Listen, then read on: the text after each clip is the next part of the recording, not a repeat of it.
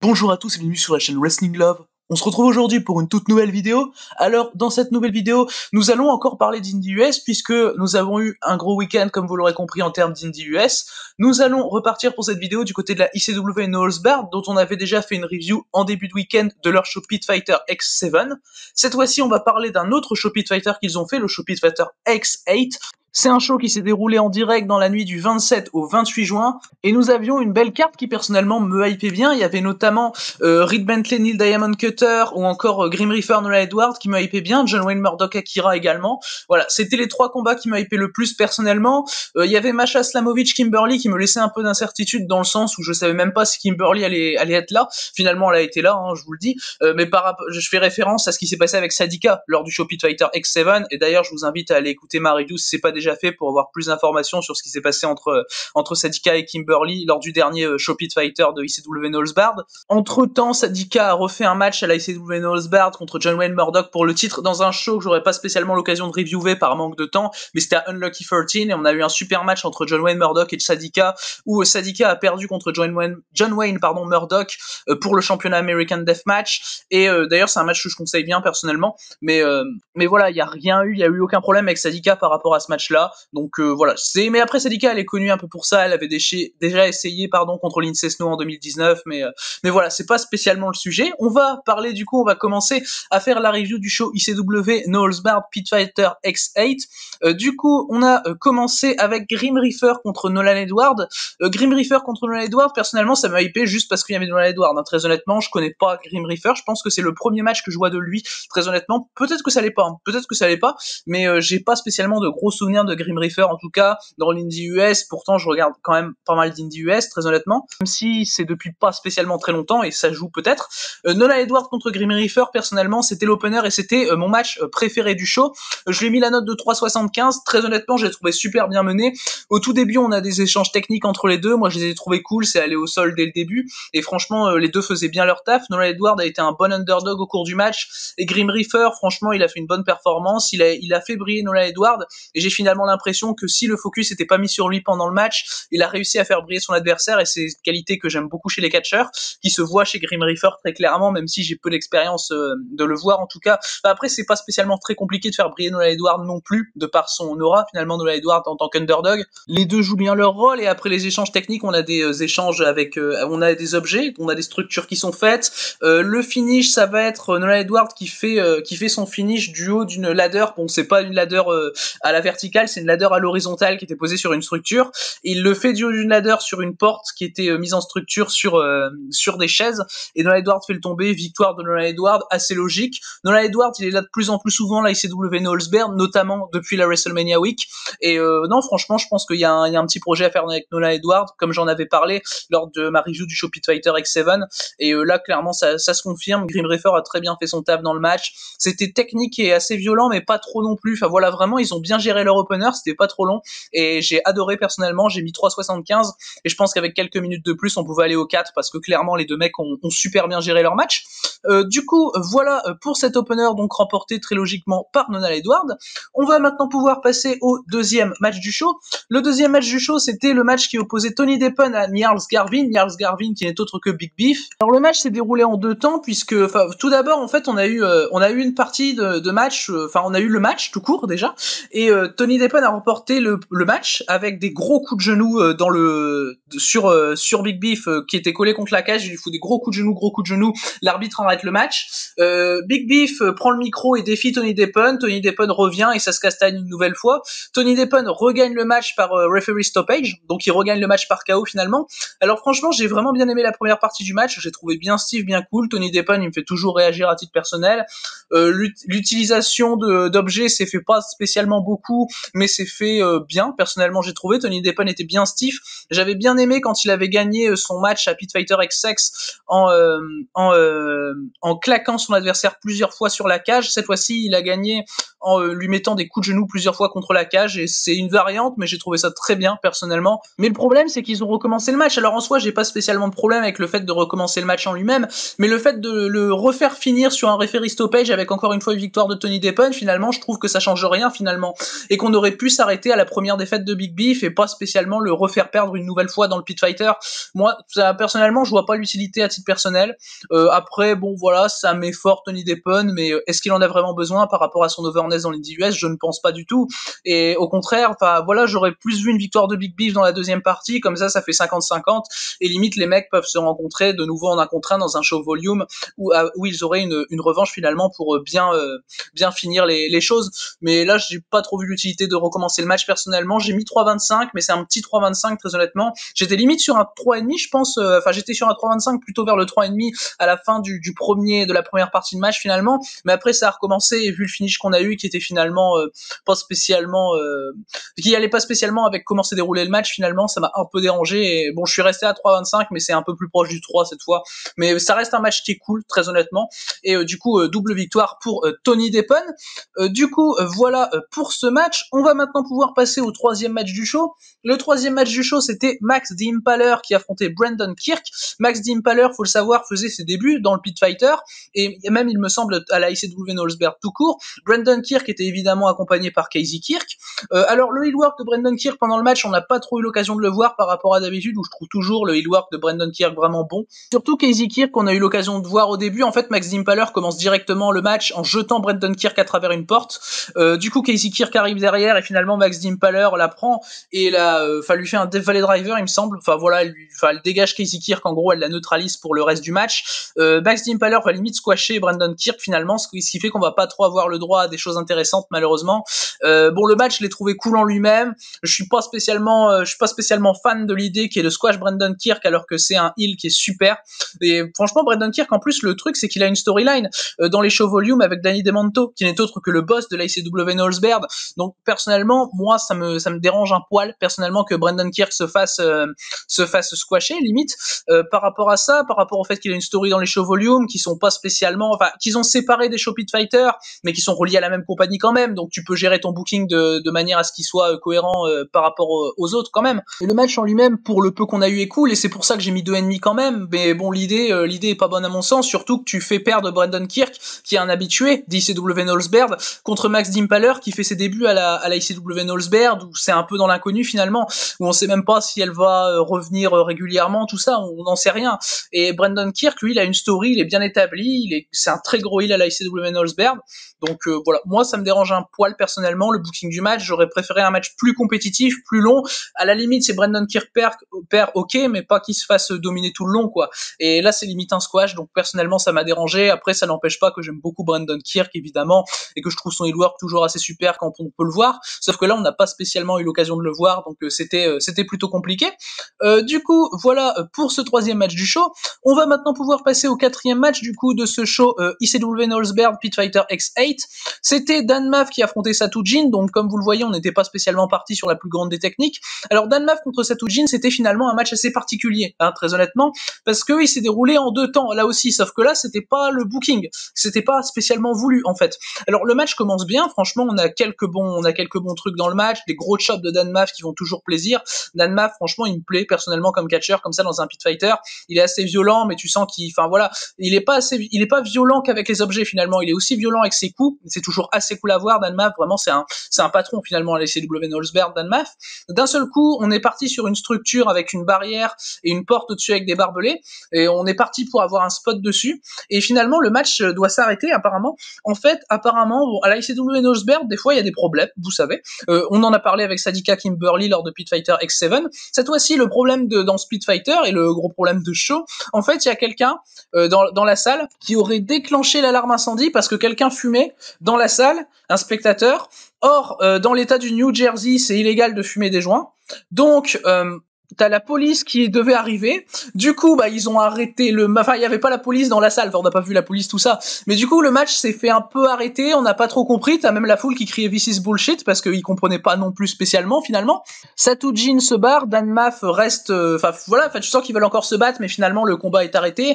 Jin se barre. Dan Maf il reste. Il reste dans le pit. Finalement, il attend. Il sait pas spécialement quoi faire. Il essaye de prendre un micro, d'attendrir un peu la foule. Finalement, t'as Danny Demanto, le patron de la ICW Nolsbert, qui arrive et euh, qui dit bon bah de toute façon on va continuer, on s'en fout s'il y a les flics qui arrivent ou quoi, on continue le show, nous on va leur montrer, enfin voilà. Enfin ICW Nolsbert sur 5, hein, de toute façon des fois il y a des problèmes comme ça, vous savez, c'est l'indie US, euh, enfin voilà, c'est- vraiment, enfin c'est vraiment pur indie US, hein, tu trouveras pas ça ailleurs hein, de toute façon, et ça fait son charme, voilà, on va dire que ça fait son charme. Du coup t'as Satujin qui peut revenir, euh, Satujin et Danmaf du coup reprennent le combat, ils font leur spot par rapport à la barrière, tout ça, je crois que c'est, il me semble que c'est euh, Danmaf qui fait un neckbreaker à travers la barrière sur Satujin, enfin t'as quelques bons spots aussi, ils amènent la fin assez bien, Danmaf finit par remporter le match assez logiquement, Satujin ressort quand même assez over finalement, même si de base je suis pas spécialement fan de Satujin, hein, personnellement j'aime pas spécialement son style de deathmatch, parce que là pour le coup on est, on est sur du pur deathmatch hein, finalement, même si on est sur un pit fighter, là c'était vraiment pur deathmatch, euh, à part quelques gros chops de la part de Danmaf, quelques grosses frappes, parce que Danmaf il fait ça, et c'est toujours cool de le voir, euh, de le voir faire ça, Danmaf, c'est un catcheur que je prends plaisir à, vo- à voir catcher personnellement, même si c'est pas le plus fin des catcheurs euh, dès lors qu'il est dans un ring, et compte tenu des conditions, compte tenu du fait que le match a été arrêté, repris, enfin que les mecs ont quand même bien géré leur truc. Personnellement, j'ai mis 3, l'in-ring était vraiment bon. Bon, t'as eu cette pause pendant le match qui a fait que fatalement j'étais moins investi derrière, mais ils ont quand même réussi à bien gérer un, ils ont géré une bonne fin, je trouve, Danmaf et Satujin personnellement. Ils ont été, ils ont été assez professionnels pour le coup et moi j'ai trouvé ça bien. Personnellement, j'ai mis 3, voilà, il y a rien de ouf. Il y a évidemment un manque d'investissement par rapport à la pause de bien 3 minutes hein, quand même entre entre les deux parties du combat ce qui m'a malencontreusement et c'est pas de leur faute un peu gêné. Bah voilà ça c'est ça c'est les aléas hein, ça c'est les aléas de la ICW Nolsberd mais le match en lui-même est cool alors. Enfin voilà ça aurait pu faire un 3-25 3,5 sans la pause mais bon voilà ça l'a pas fait. Euh, mais du coup euh, voilà pour euh, pour ce match. Alors après le match il y a euh, Satujin et Danmaf qui vont montrer un signe de respect. En fait ils vont se balancer chacun un chop c'est signe de respect chez Danmaf il l'avait fait aussi avec Nola Edward lors de ICW Nolsberd volume 12 lors de la WrestleMania Week. C'est euh, Danmaf il fout un chop à Satujin Satujin lui en refout un. Du coup les mecs se font un parce qu'ils sont contents de se foutre des chops. Euh, J'ai trouvé ça cool. Après le après le match, t'as encore Dan Maf qui euh, qui fait une promo, qui dit à la foule voilà euh, pas fumer et tout ça. Enfin voilà montrer que nous on va continuer notre show. Enfin voilà et il, est super cool Dan Maf pour faire ça. Il il connecte bien avec la foule et il gère à la ICW Nolsberg. Dan Maf c'est un c'est un taulier j'ai vraiment l'impression et il gère bien ce genre de choses. Enfin voilà il met en valeur aussi le travail de Danny Demonto en tant que booker en mode ouais on va respecter ce qu'il fait. Enfin voilà on va on va laisser le show continuer quand même. Et non ouais c'était voilà la promo de Dan Maf est claire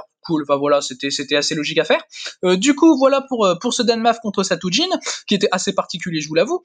On va maintenant pouvoir passer au cinquième match du show. Le cinquième match du show, c'était Masha Slamovic contre Kimberly. Alors je savais pas s'il allait vraiment avoir lieu par rapport aux raisons que j'ai expliquées en tout début de vidéo par rapport à Kimberly Sadika. Je vais pas spécialement réexpliquer ce qui s'est passé lors de Pit Fighter X7. Du coup, on a notre Masha Slamovic contre contre Kimberly dans un Pit Fighter, qui est personnellement un match qui m'intéresse bien. C'est deux catcheuses que j'aime vraiment bien. Surtout Slamovic, que je sais vraiment capable de faire quelque chose dans un Pit Fighter.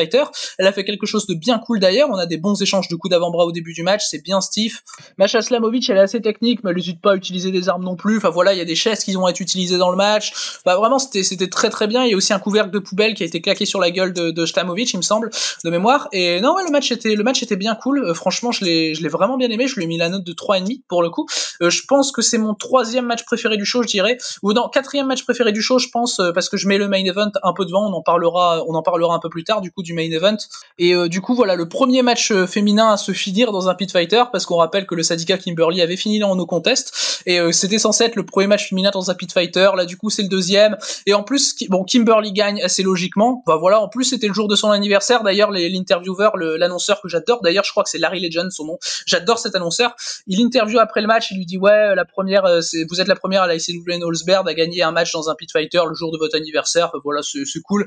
Et euh, non ouais, c'était un petit feel good moment. Et puis le combat en lui-même est vraiment stiff et vraiment cool à suivre. Donc euh, voilà, personnellement j'ai mis 3,5 et je conseille bien le match. Il était, euh, il était bien cool à voir.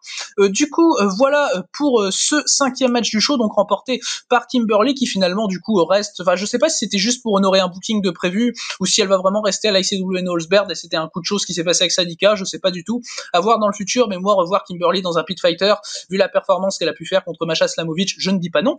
Euh, du coup, voilà pour ce match. On va maintenant pouvoir passer au sixième match du show. Le sixième match du show opposait euh, Kevin Giza à Dale Patricks. Alors avant toute chose, avant que je parle du match, il faut savoir que Dale Patricks et Kevin Giza sont des partenaires par équipe à la AW Mid-South où ils sont actuels champions par équipe. Donc voilà, t'as quand même deux mecs qui arrivent, qui se connectent. Dale Patricks qui a fait un bon petit week-end à la ICW Knowlesbaird, qui a eu un bon match, vraiment bon match contre Casanova Valentine dans le Pit Fighter en début de week-end, euh, qui a eu un bon match contre Neil Diamond Cutter lors de Unlucky 13, euh, qui est un show que évoqué en début de vidéo, mais dont j'ai pas, pas le temps de parler finalement du show. J'ai pas le temps de parler de tous les shows que je vois non plus. Et il avait eu un bon match contre Neil Diamond Cutter à Unlucky 13. Et euh, du coup, on va passer, enfin, on va, on va vraiment euh, parler du match en lui-même cette fois-ci. Kevin Giza contre contre Dale Patricks. C'est un match que j'ai vraiment bien aimé personnellement. Je lui ai mis 3,5. C'est mon deuxième match préféré du show. Je l'ai vraiment trouvé bien violent, bien cool. Enfin, Dale Patricks et Kevin Giza, malgré le fait qu'ils sont partenaires par équipe, ils hésitent pas à s'envoyer dans des portes, à se, enfin voilà. Et vraiment, c'est un match qui est très violent pour le coup. Mais violent dans le bon sens du terme, tu vois. Bah, c'est pas le match où il va y avoir des gros cuts euh, dégueulasses à la schlag, tu vois. Enfin voilà, il va y avoir, euh, il va y avoir des très bons spots. T'as Kevin Giza qui va être le premier de la soirée à utiliser l'estrade parce qu'il va du coup sortir du pit pour euh, monter sur l'estrade. Pour, en fait, il prend son élan et il saute pour faire, pour faire, pour plonger sur Dale Patricks qui était sur une structure avec une porte qui était sur des chaises et il saute sur Dale Patricks. Dale Patricks va se dégager. Moi, j'ai trouvé ça, j'ai trouvé que c'était un spot vraiment très cool personnellement. Se servir de l'estrade finalement, c'est pas si bête que ça, je trouve. Et j'aime pas spécialement quand les catcheurs sortent du pit, mais de cette manière-là, de la manière dont c'était amené, franchement, j'ai trouvé ça bien personnellement pour faire un spot dans le pit finalement. Les deux hommes euh, vont retourner sur l'estrade un peu plus tard pour parler, euh, enfin pour parler du finish, surtout pour faire le finish. Enfin euh, voilà. Dale Patricks va prendre Kevin Giza en position de chokeslam. Kevin Giza va résister pas mal de fois. Il va essayer de contrer le chokeslam de Dale Patricks. Finalement, Dale Patricks lui fait un chokeslam du haut de la cage, du haut du pit, sur à travers une à travers une porte également. Et là, moi, j'ai trouvé le, spot bien cool. Et Kevin Giza perd par KO évidemment parce que Dale Patricks allait pas, enfin allait pas redescendre dans le pit pour que pour refaire un truc évidemment c'était logique que ça se finisse sur ça. Le match se finit par referee stoppage assez logiquement. Dale Patricks prend la victoire. C'est mérité. Il a fait un gros week-end à la ICW Knowlesbeard il a fait trois matchs et peut-être même quatre si je dis pas de bêtises parce qu'il y a un show que j'ai pas maté de la ICW Knowlesbeard ce week-end. Je vais vous dire ça tout de suite. C'était le show euh, Gotha Unity the Pit que j'ai pas regardé qui est le seul des quatre shows de la ICW Knowlesbeard du week-end que j'ai pas maté par manque de temps très honnêtement. Et je viens de voir que ouais, Dale Patricks avait fait un match contre Ace Perry. Donc quand même quatre matchs en quatre shows pour la fête. Bon c'est logique quand même qu'il ait pas mal de victoires. Et non, le match en lui-même est bien cool. Kevin Giza, je trouve qu'il a un bon heel work dans le match. Clairement, Dale Patricks va plus être présenté comme le face, ce que j'ai trouvé assez logique. Euh, Kevin Giza, il arrive, il fait des fuck à la foule. Enfin voilà, il est, il est toujours assez cool. D'ailleurs, j'aime beaucoup le thème personnellement de, de Kevin Giza. C'est une musique que je connais en plus de base. Enfin voilà, j'aime bien le thème de Kevin Giza personnellement. Et non, ouais, vraiment, vraiment très bon match en tout cas. J'ai mis 3,5 et j'étais vraiment pas loin du, du 3,75. Et euh, du coup, mon, mon deuxième match préféré du show. Euh, du coup, voilà pour ce sixième match du show. On va maintenant pouvoir passer au pré-main event donc de ECW Knowlesberg Pit Fighter X8. Le pré-main event, c'était Neil Diamond Cutter qui affrontait Reed Bentley. Alors, Reed Bentley contre Neil Diamond Cutter, c'était personnellement un match qui m'a hypé bien, euh, surtout que franchement, les deux catcheurs, franchement, je les trouve vraiment très bons. Et dans un pit, moi, personnellement, ça m'intriguait. Je trouvais ça, je trouvais ça pas mal cool. Euh, personnellement, le match, j'y ai été un peu déçu, très honnêtement, même s'il restait bien cool. Je lui ai mis la note de 3,25 quand même, hein, donc c'est que ça a quand même fait le tap, évidemment. C'est Neil Diamond Cutter contre Reed Bentley, ça allait pas être mauvais, évidemment. Le problème, c'est que vraiment, il y a quelques spots cool dans le match, mais finalement, ils amènent à pas grand chose. Il y a un moment, il y a Neil Diamond Cutter qui arrive à placer son Diamond Cutter, justement. Et, euh, bah, en fait, le problème, c'est que, bah, il amène à pas spécialement grand chose. Euh, t'as quelques, t'as une ou deux minutes après, t'as la fin avec Neil Diamond Cutter qui gagne avec un splash à travers une, une table, il me semble. Il me semble que c'est ça la fin. Il me se passe un move à travers une table sur euh, Rick Bentley. Et j'ai trouvé ça bien. Personnellement, je suis pas spécialement étonné de la victoire de Neil Diamond Cutter, très honnêtement. Euh, même si Reed Bentley a été bien push depuis euh, depuis la WrestleMania Week, il avait perdu contre Atticus Cogar à volume 12. Depuis, il me semble qu'il a que des victoires à la ICW Knowlesbeard. Mais non, mais Neil Diamond Cutter qui gagne, moi, ça me paraît assez logique. Très honnêtement, ils peuvent faire un truc avec Neil Diamond Cutter. C'est vraiment un très bon catcher deathmatch qui connecte très bien avec la foule et avec moi y compris pour le coup. Moi, j'arrive très bien avec Neil Diamond Cutter. Enfin, le mec, il arrive, je chante déjà sa, son thème d'entrée, euh, Sweet Caroline. Enfin, j'adore ce, j'adore pas enfin j'adore le thème d'entrée de Neil Diamond Cutter personnellement. Et non ouais, je connecte très bien avec lui. Euh, Reed Bentley également, il est pas spécialement le plus charismatique comme j'ai pu déjà le dire, mais franchement je trouve qu'il fait très bien le taf. Il tease pas mal de, il tease deux fois il me semble son Tiger Drill durant le match. À chaque fois Neil Diamond Cutter a assez d'énergie pour le pour l'esquiver. voilà, c'était c'était bien. Après ça me manquait de ça. Enfin, je trouvais que ça manquait de quelque chose finalement. Peut-être que c'est mes attentes qui étaient un peu trop hautes par rapport à celui de Bentley Diamond Cutter, mais ça manquait de quelque chose personnellement pour m'investir plus. Après, j'ai bien aimé le match, c'est 3 25. Victoire de Neil Diamond Cutter qui m'a pas spécialement surpris et de toute façon, même si ça avait été une victoire de, de Reed Bentley, ça m'aurait pas spécialement surpris non plus. Euh, mais du coup, voilà, j'ai pas spécialement grand chose de plus à, à, dire sur ce match, donc remporté par, euh, par Neil Diamond Cutter. Euh, du coup, euh, voilà pour ce pré-main event. On va maintenant pouvoir passer au main event donc de ce show. Le main event de show, c'était Akira qui affrontait l'actuel champion American Deathmatch heavyweight de l'ICW Knowlesburg, seul titre de la Fed, John Wayne Murdoch. Alors déjà, Akira fait son entrée, John Wayne Murdoch fait son entrée juste après, et John Wayne Murdoch, la première chose qu'il fait dès qu'il rentre dans le pit, c'est qu'il dit je veux que ce match soit pour le titre. Donc John Wayne Murdoch fait sa deuxième défense de titre après avoir donc défendu le titre la veille à Unlucky 13 contre Sadika dans un très bon match et aussi très intense. Il défend donc son titre contre Akira. Personnellement, j'ai bien aimé ce move, ça permet de mettre encore plus over Akira. Il a une chance au titre, c'est assez mérité. En plus, il a battu Homicide la veille, donc bon, c'est, enfin voilà, battre Homicide, c'est quand même pas rien, donc il a une chance au titre de John Wayne Murdoch, je trouve ça pas spécialement déconnant personnellement. Le match en lui-même était vraiment bon, je lui ai mis la note de 3,5, je lui ai mis la même note que le John Wayne Murdoch Sadika, mais j'ai quand même un peu préféré le John Wayne Murdoch Sadika personnellement. Alors je suis bien investi dans Akira, je trouve que c'est un très bon catcheur Akira, franchement c'est assez facile d'être investi avec lui, encore une fois. Il y a pas mal de catcheurs à la ICW Knowlesberg où c'est comme ça, où c'est assez facile d'être investi. Nola Edward, euh, Brendan Kirk euh, par exemple, euh, ou encore Neil Diamond Cutter dont on vient de parler juste avant. Et clairement dans ce match tu sens bien que c'est un match de titre. Enfin, tu sens qu'Akira il donne tout, il donne même plus que d'habitude Akira, et tu sens clairement que c'est, tu sens clairement que c'est match de titre. Et finalement, John Wayne Murdoch, il a un peu pris de court par moment, ce que j'ai trouvé vraiment cool. Bon, ça reste le John Wayne Murdoch euh, très dominant quand même dans le match. Il va y avoir du near fall dans le match, pas à outrance, donc ça m'a plu personnellement. Même Murdoch va avoir un ou deux near fall. Moi, j'ai trouvé ça bien. Il a réussi à bien mettre over, euh, à bien mettre over Akira. Euh, donc voilà, ce match, j'ai mis la note de 3,5 personnellement. Finalement, c'est pas le match sur lequel j'ai le plus de choses à dire, et euh, bah, j'ai moins de choses à dire clairement que sur que sur certains autres matchs du show. Évidemment, bon, par exemple le, le Satujin contre Dan Maff, mais bon, ça c'est pour des raisons évidentes. Mais n'empêche que franchement, il était, il était vraiment bien. Bon, il y a, un spot dans le match qui m'a bien fait rire. C'est Akira essaye de casser une plaque de verre sur la tête de John Wayne Murdoch et la plaque ne casse pas. Enfin, sais pas, et c'est pas de la faute du crâne de John Wayne Murdoch pour le coup, parce que du coup derrière Akira, il met la, la plaque de verre contre John Wayne Murdoch qui est à genoux. Il prend une chaise Akira et il essaye de défoncer la plaque de verre, mais la plaque de verre ne casse pas. Vraiment, enfin, je comprends pas pourquoi. La plaque de verre ne s'est jamais cassée. Finalement, ils s'en sont débarrassés. Ils ont décidé de pas la casser durant le match. Ça aurait pu être cool. Enfin voilà, le spot avec la chaise, pour le coup, j'ai trouvé bien inventif de la part d'Akira. Il a su bien gérer le truc, mais la plaque voulait vraiment pas se casser. Je sais pas pourquoi. Bon, ça arrive des fois dans des dans des. Voilà, ça, peut arriver très honnêtement des spots qui veulent pas s'effectuer. Et ça m'a pas spécialement dérangé outre mesure. C'était juste, euh... bon, voilà, c'était juste euh, insolite. On va pas se mentir.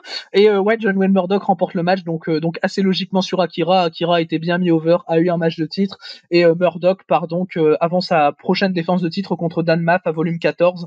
Je sais pas spécialement quand ça sera volume 14. Je crois que c'est dans une ou deux semaines. Et non, je suis bien hype par le Murdoch Dan en tout cas. Mais du coup, voilà pour pour ce main event, donc avec une victoire de John Wayne Murdoch, match auquel j'ai mis la note de 3,5 sur 5. du coup, c'est ce qui conclut ce show ICW Knowlesburg Pit Fighter X8. Alors le show dans l'ensemble, personnellement, j'ai trouvé vraiment cool. Euh, je trouve qu'il avait, enfin, que des bons matchs. À part pour le coup le Brandon Kick Max Dimpaler, avec lequel j'ai un peu plus de mal, mais c'est plus par rapport à l'idée que la qualité euh, produite en, en, dans le pit en elle-même. Mais c'est plus par rapport à l'idée que j'ai du mal et au booking. Mais sinon, à part ça, franchement, le show est très très solide, largement meilleur que le que le Pit Fighter X7. Enfin voilà, là le main event est très bon, le John Wayne Murdoch Akira. Au Pit Fighter X7 en main event, on avait Tank contre Murdoch, c'était vraiment pas bien. Enfin, et franchement, voilà, le show est très solide, très plaisant à voir.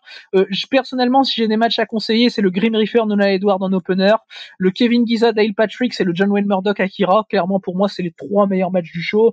Euh, le Kimberly Massa Slamovic aussi, franchement, c'est un, un bon petit match féminin dans le pit. Comme ça, en plus, c'est le, le premier match féminin à avoir une vraie fin dans un pit fighter. Donc euh, voilà, c'est, quand même, c'est quand même un truc, voilà. Et non, ouais, le match en lui-même était bien cool de toute façon. Enfin voilà, je lui ai mis 3,5 comme le John Wayne Murdoch Akira et comme le Kevin Giza Dale Patrick.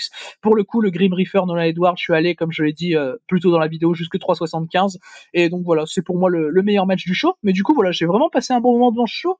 Euh, du coup, voilà, c'est ce qui conclut donc cette review de ICW Knowlesburg Pit Fighter X8. J'espère qu'elle vous aura plu. Merci à vous d'avoir écouté cette vidéo. Et du coup, d'ici les prochaines vidéos, je vous dis à prochaine.